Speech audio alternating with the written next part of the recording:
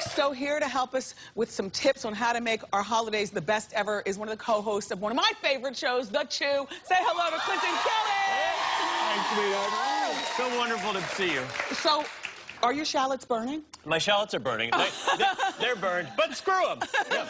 Okay, Yeah. what are three tips on making it the best Thanksgiving ever? All right, I think, first of all, to take the stress off your table, set your table the night before. That's really important. Just get it done so you don't have to do it on Thanksgiving Day. Also, put all your platters out so that you know that you have enough room on the table for everything. Yeah. Um, the other thing I'd say is get, release the need to be perfect. You know, you don't need to do That's grandma's china setting for 20 and everything has to be matchy, matchy, matchy. Yes. Mix and match your plates, have a good time with These it. are um, Clinton's line, by the way, at Macy's. They're dishwasher safe. I already checked. Yes, they are. And microwavable. Yeah. Okay, so what are we making first, and why does this turkey look so juicy, unlike the ones that I make? I know you have a thing about dry turkey. Do you have a thermometer? No, but I'll get one. You need one. That's the thing. Okay. You have to take that turkey out of the oven when it hits 160 degrees because it will continue cooking after you take it out. It will go up to 165, which is where you want it. If you go above 165 to 170, 180, you're going to have a dry.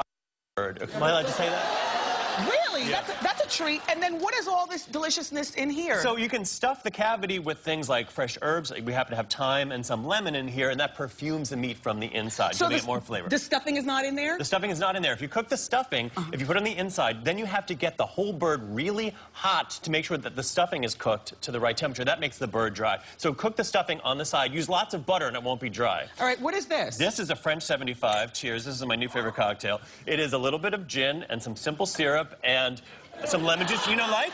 You don't like no, it? it's gin and juice first thing in the morning. It's gin and juice. okay, now you have, Mm, and there's champagne in it too. it's delicious. Listen, this is one of my least favorite things. Why should I like this? The cranberry sauce? Oh, I can't, it's bitter. Oh, I want you to try my cranberry sauce. All right, Okay. so this my cranberry sauce has a secret ingredient, which is mango. Okay. So, Okay. Uh-huh. I've been cooking a lot with mango lately because they're available year round. They taste delicious. They're super low in calories. It makes a, a tart fruit palatable. You are you're, uh, palatable. I Wow, it. that's high praise. there. No, Thanks, no, bud. I love it. This- yeah. uh-huh, yeah. uh-huh. Okay, good. All right. So this is, it's so easy to make. I actually use canned cranberry sauce, the whole sauce, uh, the whole uh, berry sauce, a little bit of orange juice, a little orange zest, some, um, um, some mango, and some ground ginger and cinnamon, and a touch of salt. And you're, look at, you're eating all This is the way you do it. All right, great. I'm glad you like it. Come on. Really high in vitamin C, those mangoes, too. Okay, this is a scalloped sweet potato. You probably had potatoes gratin before. Yes. This is a sweet potato gratin, which is really no fail. You just make a, ch- a cream sauce with cheese with some Gruyere and some cream, and you melt that down with some salt and pepper, and then you have your sweet potatoes, which you just layer like so. You peel them and you slice them into uh, about one eighth of an inch rounds, and then what you do is then you just keep layering the sauce.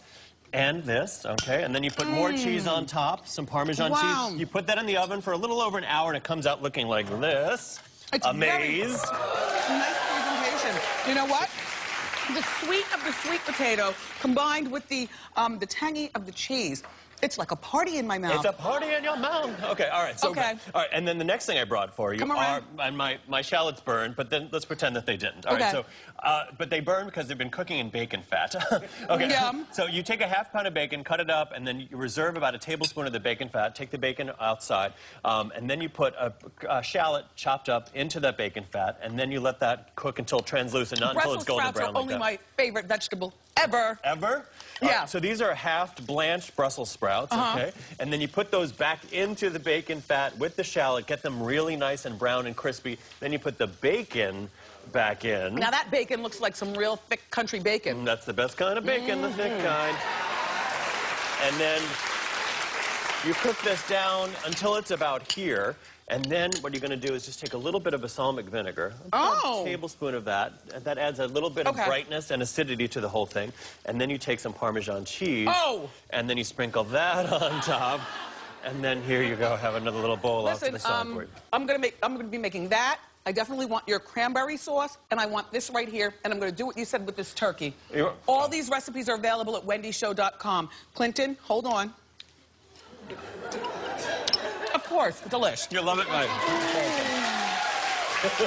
Clinton's got a new book. It's called Freaking Fabulous on a Budget. It's in stores now. Everyone in our studio audience is going home with their copy.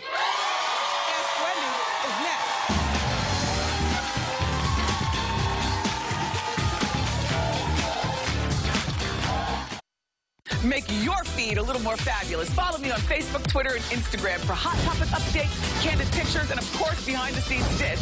Get in on the conversation today.